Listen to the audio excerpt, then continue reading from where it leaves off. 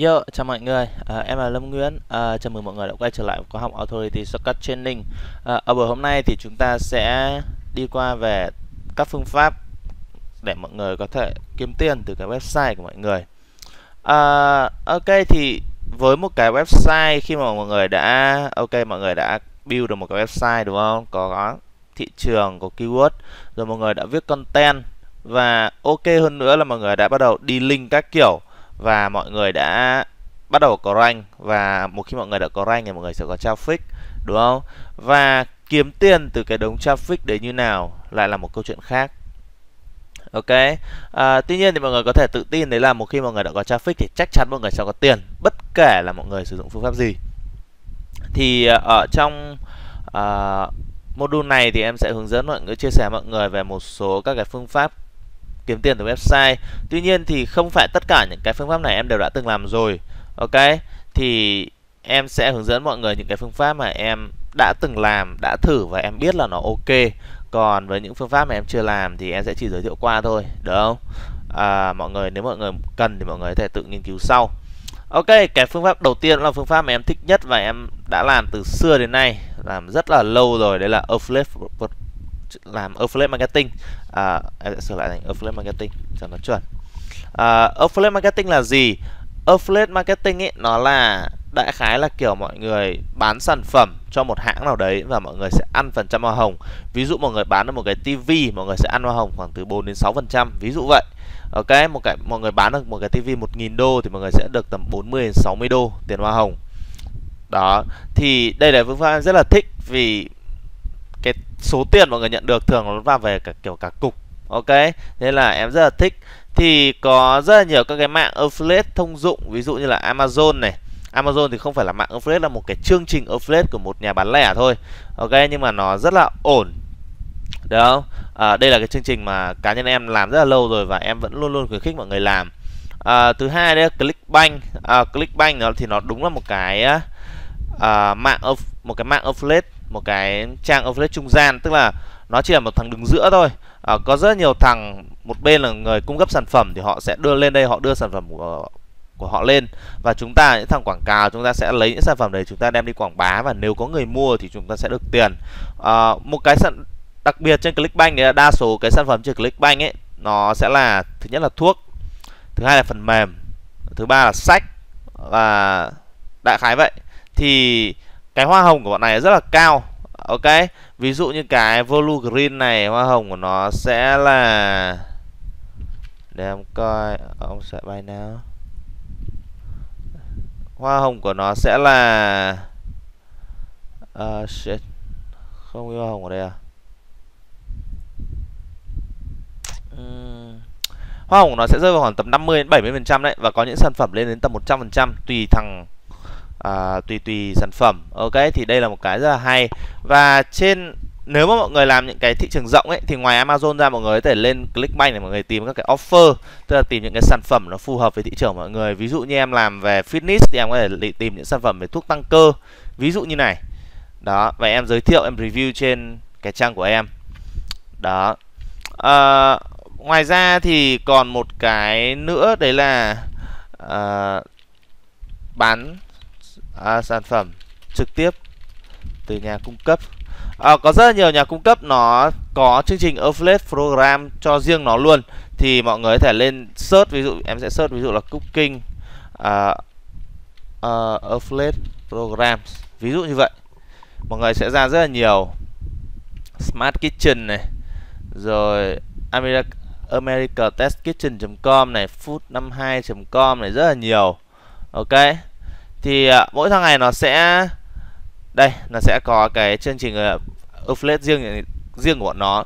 Thì mọi người có thể đăng ký mọi người có thể đọc nếu mà thấy phù hợp thì chúng ta có thể đăng ký và quảng bá. Đó rất là nhiều. Thì đó là về affiliate program. Uh, ok đó là về affiliate marketing. Thứ hai cái thứ hai cũng là cái rất là nhiều người làm đấy là display ads tức là quảng cáo hiển thị à, tức là sao? Có thể mọi người đã từng nghe thấy những thằng như Google AdSense rồi đúng không? Tức là thằng Google nó sẽ cho một cái quảng cáo nó hiển thị trên trang web của mọi người. Em sẽ ví dụ đây gọi là à, đây sẽ gọi đây gọi là display ads này Deviant Express. Và mọi người sẽ thấy có rất nhiều quảng cáo nó sẽ hiện ở bên tay phải này thấy không? Quảng cáo quảng cáo quảng cáo quảng cáo. Tất cả các cái này gọi là display ads tức là quảng cáo hiển thị. Mỗi lượt hiển thị lên như này và ví dụ có khách người ta click vào trong cái, em click như này phát là cái thằng VN Express này sẽ có tiền. Tương tự với sai mọi người thôi, mọi người đưa quảng cáo Google lên, có thằng click vào hay là nó hiển thị lên hay gì đấy, thì nó sẽ, mọi người sẽ nhận được tiền. Quảng cáo hiển thị rất là hay, đấy là cái bọn này nó sẽ tự động tối ưu cái quảng cáo dựa trên cái hành vi người dùng và dựa trên cái website của mọi người thế là mọi người sẽ không phải làm cái gì cả. Chỉ cần ném cái AdSense lên thôi. Ok?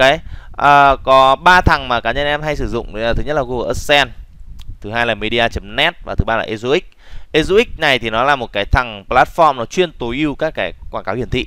Tức là mọi người mọi người có thể sử dụng EZUX để kiếm tiền từ Google AdSense để kiếm tiền từ media.net và nó sẽ tự động xoay vần quảng cáo để sao cho cái lợi nhuận nó là cao nhất và một cái nữa thằng EZUX này rất là dễ đăng ký. Thì với những ai đang muốn làm display ads thì em khuyên nên đăng ký EZUX đầu tiên. À, thứ ba đây là sponsor post. Cái này thì ít người làm hơn. Tuy nhiên đây là một cái nguồn thu rất là lớn nếu mọi người biết cách tận dụng. Thì rất đơn giản thôi. Khi mọi người đã có traffic thì sẽ có những thằng người ta muốn quảng cáo trên cái website của mọi người. Nếu mà site mọi người nhìn nó chất lượng nhìn nó ok thì sẽ người ta sẽ muốn quảng cáo trên site của mọi người thì có thể là người ta chỉ muốn đăng một cái bài người ta gọi bài PR ấy, trên cái website mọi người. Cũng có thể một số thằng, ví dụ như một số thằng kiểu blogger affiliate chẳng hạn, nó muốn sell cho site của nó thì nó muốn một cái link từ site của mọi người. Thì nó sẽ liên hệ với mọi người, có thể nó sẽ yêu cầu guest post. Thấy kịch bản quen không? Và mọi người sẽ trả lời là không, tao không chấp nhận guest post trên site của tao. Tuy nhiên, tao có cung cấp sponsor post, tức là mày phải trả tiền để được đăng bài. Nếu mày ưng ý thì mày có thể bơi vào đây. Kiểu thế. Và sẽ có một tỷ lệ là những thằng nó đồng ý offer mọi người thì giá giá một guest post ví dụ sai mọi người domain authority tầm khoảng 20 đến 30 thì giá nó sẽ khoảng tầm khoảng 40 đến 60 thôi. Thì một tháng mọi người bán được khoảng 3 đến 4 guest post là mọi người đã có khoảng gần 200 đô một tháng rồi. Ok. Đây là một cách kiếm tiền rất là hay và kiểu kiếm cả cục luôn đấy đây là cái rất là thích. À, cái cái thứ tư đây là dropshipping à, mọi người có thể mở một cái trang thương mại điện tử riêng dành cho site cái site uh, ờ, cái blog của mọi người. Cá nhân em thì em không làm dropship nên em không không làm cái hình thức này. Tuy nhiên nếu mọi người cần thì mọi người thể, em có thể giới thiệu cho mọi người chỗ học. À, cái hình thức này thì mọi người có một cái rất là hay đấy mọi người đã có traffic rồi. Thế là khi mọi người đăng bán sản phẩm ấy thì hầu như chắc chắn là sẽ có người mua. Chỉ cần mọi người có một cái website là tối ưu thôi đó thì hầu như chắc chắn là sẽ có người mua thì mọi người chỉ cần là ném sản phẩm lên. À, có một cái trang ném sản phẩm lên có một thằng nào đấy nó mua thì mọi người sẽ bắt đầu ship hàng cho nó. Ví dụ như vậy. Thì đây là một cái cách rất là hay vì cái biên độ lợi nhuận nó cao hơn affiliate rất là nhiều. Khi mọi người làm affiliate marketing cho sản phẩm vật lý thì mọi người chỉ được hoa hồng tầm với Amazon là vào khoảng tầm 8% là tối 8,5% là tối đa nhưng thường là chỉ tầm 7 đến 8% thôi. À, còn với dropshipping ấy thì cái biên độ lợi nhuận nó có thể rơi đến tầm khoảng 50% tùy theo cái cách mọi người đặt giá.